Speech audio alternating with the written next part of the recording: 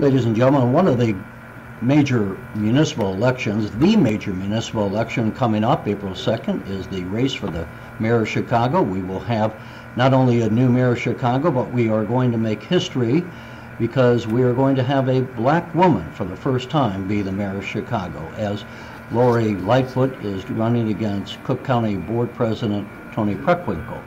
Now, joining us from Chicago, right after the two candidates just had their first debate, is Jeff Berkowitz.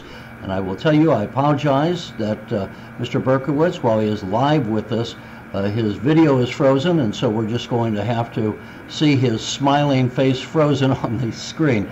But Jeff, thank you for joining us from Chicago, and we wanted to get your thoughts as you were attending this debate on how the candidates did and what were some of the major issues that came up during this NBC5 uh, Chicago debate. Okay, the overview is that there was very little new that came out of this. The there was a poll a day recently after the April 26th election that showed surprisingly Lori Lightfoot leading by 58 to 30, almost two to one over her opponent, Cook County Board President Toni Preckwinkle. So it appears as an overview, Preckwinkle came out swinging. She must believe that poll and, and Lightfoot was trying to just keep things the same, no mistakes. That's my view based on watching this debate for an hour.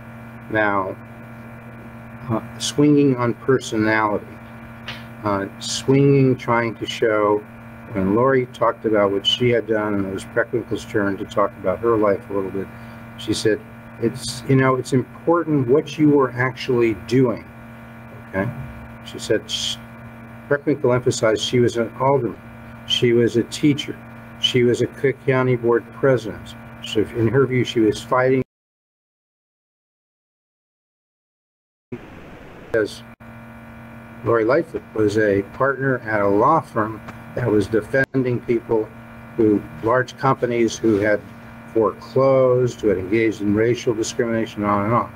So as you know, when you're a lawyer, you take on clients. Everybody deserves a defense. So, so it sounds like Preckwinkle was uh, on the attack against Lightfoot, trying to score points with the apparent large uh, lead of that Lightfoot. Now, at least in the polls, seems to be holding.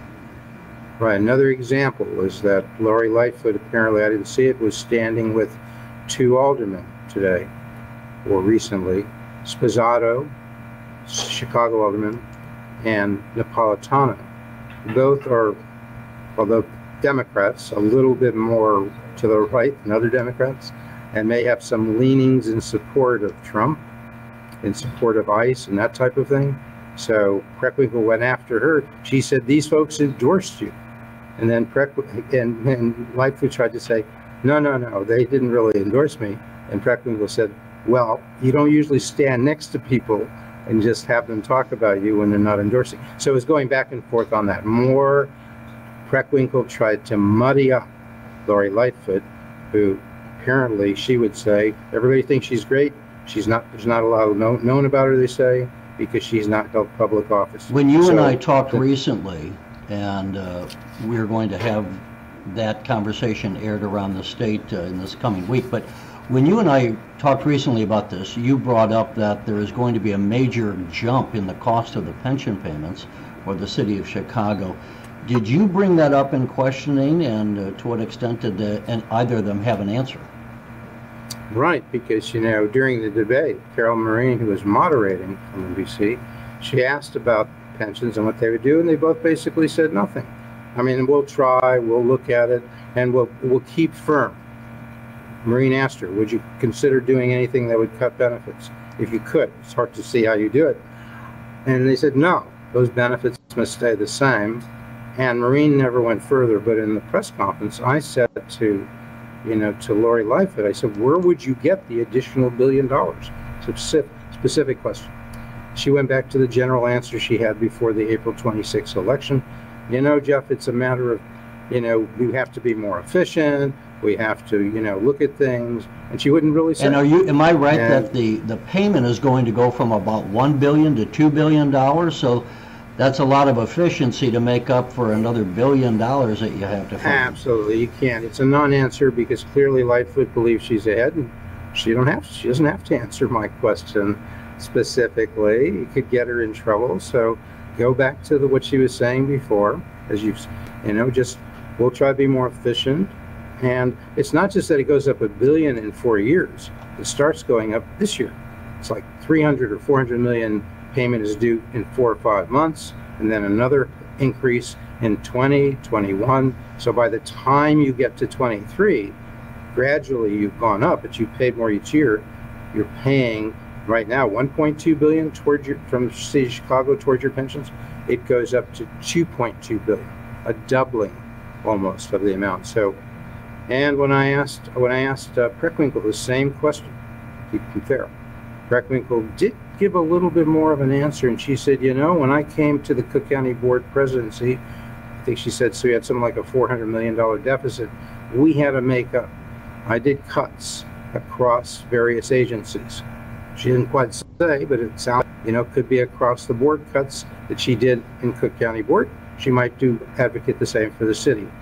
Um, you know, and also she went to efficiencies. She gave workers' comp as something that's very inefficient. She would do that. Lori Lightfoot, to her credit, said on efficiencies, we should have a risk management policy. If we did, we would avoid a lot of claims.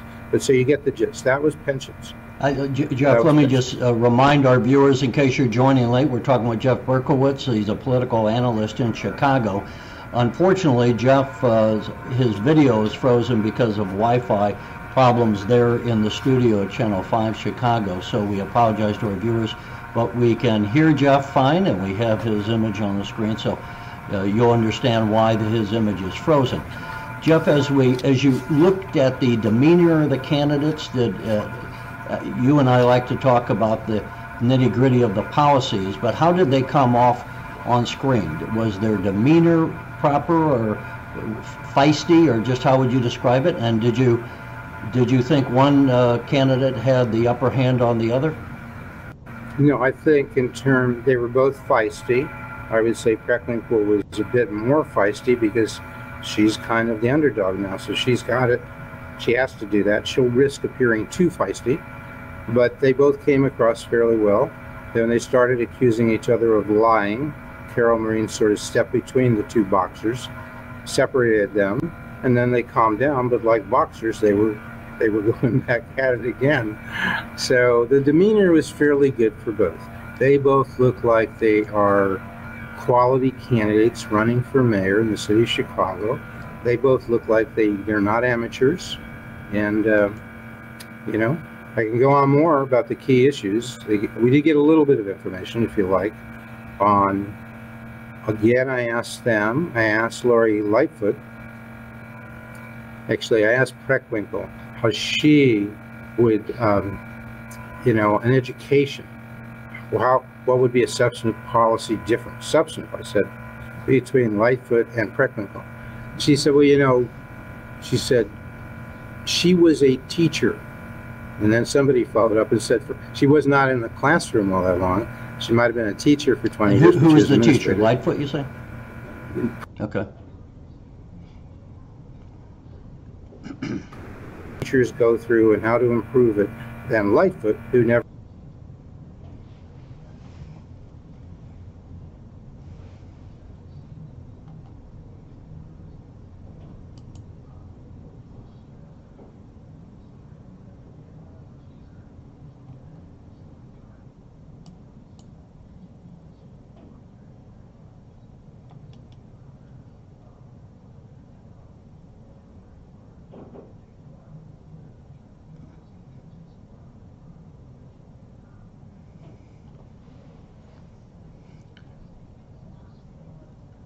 Let me ask you before time runs out two things. One, um, what what accounts for this lead? Do you, do you are you hearing from people? Are there people calling into radio talk shows that uh, explains why Lori Lightfoot seems to have this uh, pretty large lead, at least in the polls? Because uh, my gut feel was that it was going to be a tight race, and at least initially, it sounds like maybe it wouldn't be. So that's number one, and then number two, how many debates are they going to have between now and April 2nd?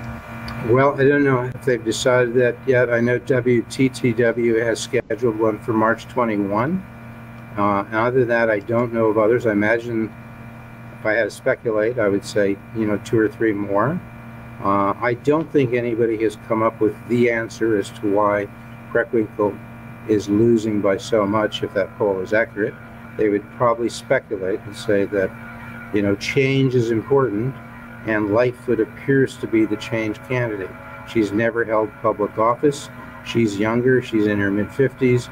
Preckwinkle is, I think, 71. She looks older, and just she looks. She's a quality person, and she looks nice. But a 71 year old is going to look a bit older than 55. And you know, it's kind of interesting to think about this. That I mean, a lot of times we have uh, a black candidate or a woman candidate running against uh, you know, maybe a white male. In this case, when you have two black women, uh, it kind of washes it all out. So then, you know, maybe we're going to look more at the substantive nature of this race uh, and not the uh, the imagery that so many times we get wrapped up uh, in some of these uh, contests.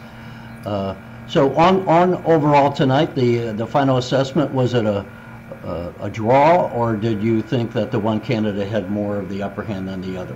Who won? No, I'd say uh, I'd say it was a draw. You might give a slight advantage for to Preckwinkle for her aggressiveness. So if you were scoring this like a gymnastic meet, you know, she set herself a more difficult task. She came out swinging. She so you might give her a little bit more, but she's if there is a 30 point uh, difference, She's not going to win doing that. She's going to need she's going to need to separate Lori Lightfoot for from her on the issues, and that she did not do tonight. She's that's what she'll have to do. She'll have to make sure she says she says she's for change. I'm for change. She didn't quite do that tonight. And as so we take this on March the 7th, uh, there's only approximately three weeks left. So this, this race is going to go fast if uh, Preckwinkle is going to make up the difference, uh, obviously she's going to have to score some points. Before we close out, uh, any last words? You know, it's as you say, the election the election is April 2. That's 25 days. Uh, Chicago, they were calling it. We were calling it an historic election because it's it. you will have your first Afri- female African American mayor in Chicago whoever wins. So it's historic in that well, sense. not not first. I mean, yeah, Harold Washington, but uh, first African American no, woman. female. Yeah. Yeah. Right. The first African American woman will certainly that will happen since they are both African American women. There is the difference that uh, that uh, Lori Lightfoot is, is a lesbian. She's married to another woman, has been so for 10 years. She's got a daughter. So there's that aspect of the LGBT plus or Q community. Um, there's also the difference in terms of one has been in office for, for you know, uh, maybe 30 years. Well, we got about 30 seconds or so. Let's. Yeah. The other's new. She's new to government. She's been involved in government in various reasons. So those things that I just said, that could be that could be the basis for people making their decision, unless either of these candidates starts doing more to separate each other on the issues. All right, Jeff Berkowitz, thanks for joining us from Chicago and giving us the wrap up of the first debate between the candidates Lori Lightfoot and Toni Preckwinkle. And perhaps we can visit with you again if we have another debate to come up and get your insights. And we hope for our viewers that we can have your video working at that time. Thanks so much. Thanks, Jeff.